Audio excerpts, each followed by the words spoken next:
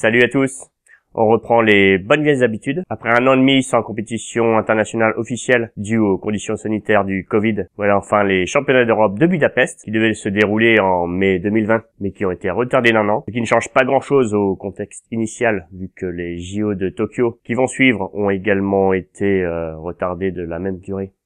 Tout le monde attendait cette euh, première compétition internationale post-Covid pour évaluer l'état de forme des nageuses et nageurs les plus en vogue au vu de l'échéance olympique qui se profile. Pour ces brefs de vestiaire, euh, je me suis débrouillé pour que le baigneur soit hors d'état de nuire à cette vidéo. Je lui ai donné une certaine euh, potion magique, mais chute. Mmh. je me demande quelle est la merde que j'ai bectée pour ait la flamme aux fesses comme ça. Les grandes tendances qui se dégagent sont que la natation britannique, russe, italienne et hongroise sont en forme. Les Britanniques avec euh, bien entendu le dieu vivant de la brasse, Adam Peaty, toujours présent sur les 50 et 100 mètres brasse. Molly Renshaw, championne d'Europe euh, du 200 mètres brasse. Kathleen Dawson en dos qui remporte le 100 mètres et obtient la médaille d'argent sur le 50 mètres, remportée par la néerlandaise Kira Toussaint. Kira Toussaint, qui était d'ailleurs la principale victime de la finale du 100 mètres d'eau rejoué suite à un défaut de baffle au couloir de la nageuse suédoise Louise Hanson. Kira sera l'éphémère vice-championne d'Europe du 100 mètres d'eau, puisque lors de la finale rejouée, elle finira au pied du podium, dépassée par l'italienne Margarita Panzira, également championne d'Europe du 200 mètres d'eau, et la russe Maria Kameneva. Pour en revenir aux Britanniques, ils remportent le relais 4 x 100 mètres 4 nages, avec le record du championnat, ainsi que les 3 relais mixtes, et elle, les nageuses britanniques, remportent tous les relais femmes emmenés par Freya Anderson, Lucy Hope et Anna Hopkins entre autres. La France s'offrira une brèche avec euh, le bronze sur le 4 x 100 mètres nage libre, avec Charlotte Bonnet, Anouchka Martin, Asia Touati et surtout une superbe Marie Wattel, elle qui a fait des superbes championnats en portant le 100 mètres papillon, ex avec la grecque Anna Tunaki, ainsi que la médaille d'argent sur le 100 mètres nage libre, course remportée par la néerlandaise Femke Hemskerk. Pour illustrer la natation russe qui est aussi en forme, on peut citer Kliman Kolesnikov, champion d'Europe du 100 mètres nage libre, mais aussi et surtout du 50 mètres d'eau, où il bat le record du monde en 23 secondes et 80 centièmes. Son compatriote Martin Maliotin remporte puis les 200 et 400 mètres nage libre, tandis que Yevgeny Rilov s'empare du 200 mètres d'eau, qui a déjà été champion du monde de l'épreuve en 2017, et Anton Shopkov confirme son titre européen sur le 200 mètres brasse. Ilya Borodin l'emporte de son côté sur le 400 mètres 4 nage, la domination russe est surtout présente côté masculin, où il remporte les relais 4 fois 100 mètres nage libre et 4 fois 200 mètres nage libre, suivis par les Britanniques. Pour parler de la grande forme des Italiens, ils sont présents sur tous les podiums des relais hommes, femmes et mixtes, à l'unique exception du 4 fois 100 mètres nage libre femmes. On peut citer Gregorio Paltrinieri, qui remporte les 5 et 10 km en eau libre à la barbe et au nez de notre Marc-Antoine Olivier national sur les deux courses. La nage en eau libre, on en parle après. Greg Paltrinieri qui n'est plus si incontesté en demi-fond, mais qui fait tout de même amende honorable en remportant l'argent sur les 800 et 1500 mètres nage libre. Derrière le Ukrainien qui fait désormais référence en la spécialité, Mirello Romanchuk. Côté femme, Simona Quadarella a fait très forte impression en remportant le 400 mètres nage libre, où elle est déjà championne du monde en titre, mais aussi les 800 et 400 mètres nage libre.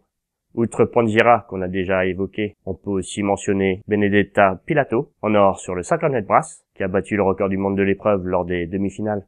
À noter aussi la deuxième place sur le 200 mètres nage libre de la grande dame de la natation, qui est Federica Pellegrini. 17 ans de carrière au plus haut niveau, devancée de seulement 2 centièmes par la jeune tchèque Barbara Semanova. Finale où l'on voit notre Charlotte Bonnet perdre son titre et terminer au pied du podium malheureusement.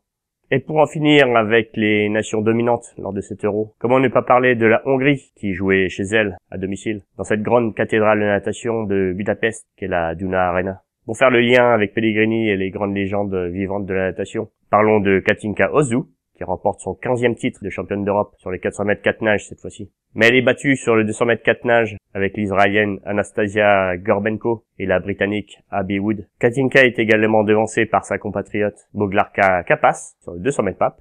Peut-on penser que Katinka Ozu est proche de la fin de règne? Elle dont on avait l'habitude de la voir plusieurs fois de suite sur la plus haute marche du podium lors d'un même championnat d'Europe. Elle prétexte que son entraînement ces derniers temps était destiné plus aux 400 mètres 4 nages après, va-t-elle décrocher un titre olympique sur cette distance à Tokyo? On le lui souhaite en tout cas.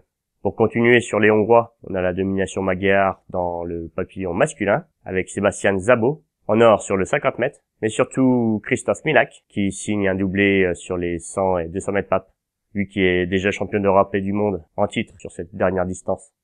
Euh, la petite Pernille euh, Toi, tu n'es pas censé intervenir, et d'abord, tu n'as plus aucune chance avec elle. Pernille était avec Flo Flo pour la vie. Et tiens, tu n'aurais pas plutôt joué avec ton nouveau joujou à la place?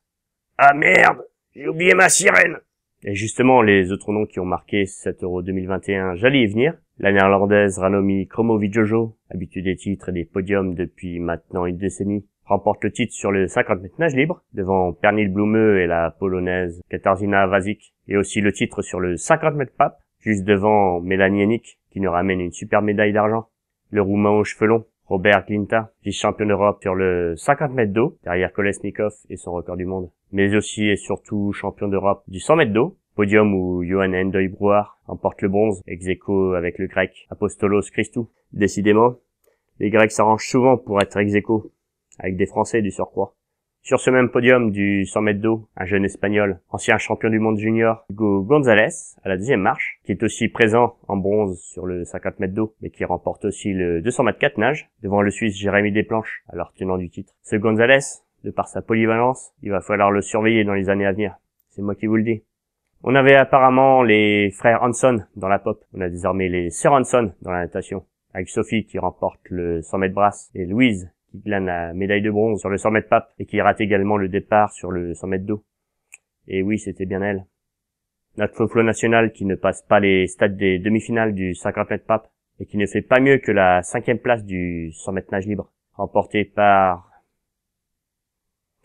Eh oui, on n'est pas que pour l'équipe de France dans Salut les baigneurs. Je disais que le 100 mètres nage libre a été remporté par le Finlandais Ari-Pekka Lukonen, qui a quasiment le même âge que Florent Manodou, qui a glané jusque-là qu'une médaille de bronze sur la même épreuve lors de l'Euro 2014, bien loin du palmarès que l'on connaît de notre Flo-Flo. Bon, il me trompe très bien, ce Harry Pekka.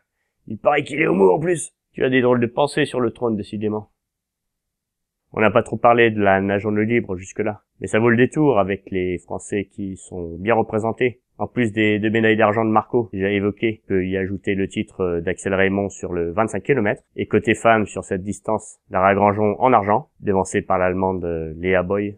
Océane Cassignol en bronze sur le 5 km. Épreuve dominée par la néerlandaise Sharon van Rouwendal, qui signe à l'occasion un doublé avec son titre sur le 10 km.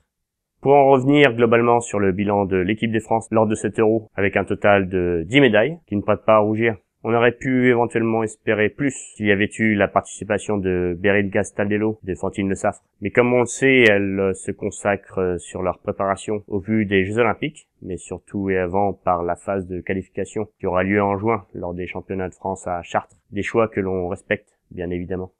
On sent aussi la malchance pour ce qui est de Mehdi, qui avait été opéré d'une épaule l'année dernière et qui a du mal à revenir à son plus haut niveau. Tout comme David Aubry, qui a eu la même mésaventure, mais il y a à peine six mois de cela. Il manque de se qualifier pour la finale du 800 mètres nage libre, alors qu'il était le favori dans cette épreuve.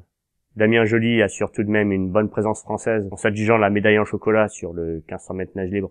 On peut aussi parler d'espoir au sein de cette équipe de France avec un Maxime Grousset, finaliste du 100 mètres nage libre, qui symbolise l'avenir du sprint français. Comme la bétinoise Cyrielle Duhamel, finaliste du 200 mètres 4 nage, Mewen Tamak, qui a brillamment accompagné Johan Endoy Brouard jusqu'en finale du 100 mètres d'eau. Le Toulousain Antoine Erlem, finaliste surprise du 200 mètres d'eau, mais aussi Léon Marchand, pas encore finaliste cette fois-ci, mais j'en suis sûr, ça viendra pour lui. Ah oui, attention, j'oubliais aussi euh, Joris Bouchot, qui lui n'est plus un espoir, mais quand même quelqu'un de plus expérimenté, qui a été euh, finaliste sur le 800 mètres nage libre. Une mention spéciale au relais 4 x 200 mètres nage libre, aussi bien homme que femme, car à part Charlotte Bonnet ou Jordan Potin, il n'y a pas en France d'autres nageurs de stature internationale sur le 200 mètres nage libre. Et ces relais arrivent malgré tout en finale, avec surtout la quatrième place du relais 4 x 200 mètres nage libre homme. Et ça, ça a été une grande surprise pour moi. Voilà donc pour ce topo sur cet Euro 2021 de Budapest qui vient de se dérouler. Je tenais à saluer les super commentateurs que sont Sophie Camoun sur Bein Sport, ainsi que Yannick Agnel et Alexandre Boyon sur euh, France 4. Continuez comme ça, vous nous régalez. Quant à nous, les prochains bilans seront ceux des JO de Tokyo cet été, pourvu qu'ils ne soient pas annulés. Allez, à la prochaine.